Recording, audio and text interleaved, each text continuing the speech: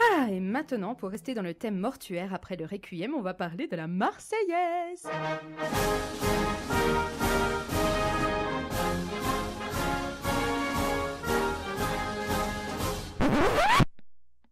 T'es sérieuse là? Bah oui, c'est quand même l'hymne le plus connu avec l'hymne américain. Euh, connu ça va. Hein. L'hymne français est quand même hardcore au niveau des paroles. Puis à part le 14 juillet, ou pour les JO, ou pour les matchs de foot, on l'entend pas plus que ça. La preuve, ils en auraient fait 50 concerts sinon. S'il était si peu connu, comme tu le dis, Berlioz ne l'aurait pas réécrit, qui est d'ailleurs ma version préférée de la Marseillaise, et c'est d'ailleurs la version la plus chantée.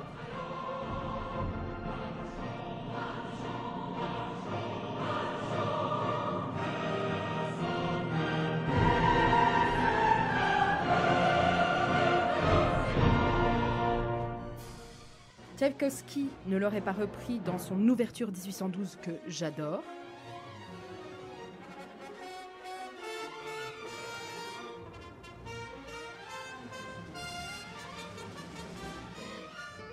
Django Reinhardt et le quintet du Haute Club de France enregistrent Écho de France où ils reprennent clairement la Marseillaise.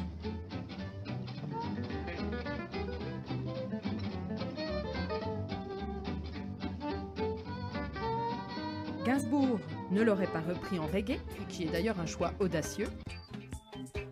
Allons enfants de la patrie, le jour de gloire est arrivé. Les Beatles ne l'auraient pas utilisé en introduction de leur chanson All You Need Is Love, et d'ailleurs euh, c'est trop cool.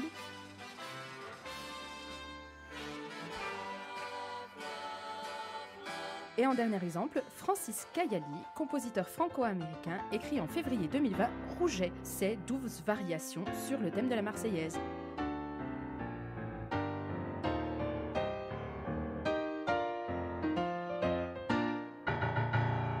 Alors, euh, tu vois, hein, Ça va, ça va. 1000 points pour Gryffondor. Mais tu savais que la Marseillaise a été composée et jouée pour la première fois à Strasbourg? Ah ah, Mhm. Si vous avez l'occasion de vous balader dans Strasbourg un jour, vous pouvez voir une plaque au 17 rue des Charpentiers avec écrit dessus Ici s'élevait l'hôtel où retentit pour la première fois la Marseillaise, chantée par Rouget de Lille chez le maire Dietrich le 26 avril 1792.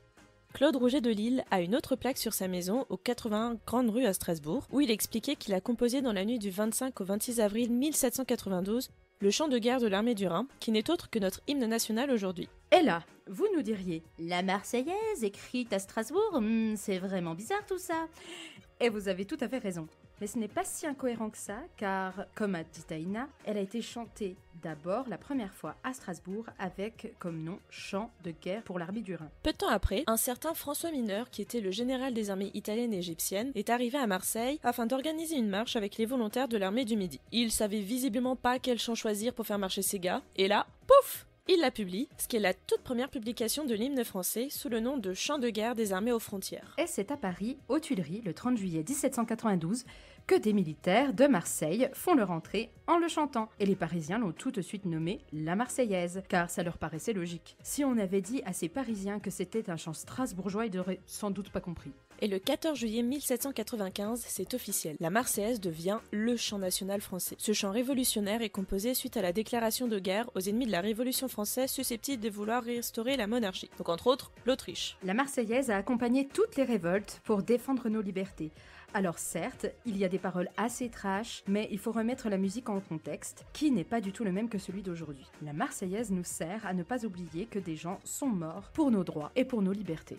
On espère que cet épisode vous a plu, et si vous voulez écouter la Marseillaise, allez dans un bar quand la France joue lors de la Coupe du Monde. Ou alors, vous pouvez l'écouter le 14 juillet au soir, soit à la télé, soit en live à la Tour Eiffel si on est un jour autorisé à sortir de nouveau. C'est pas la capitale.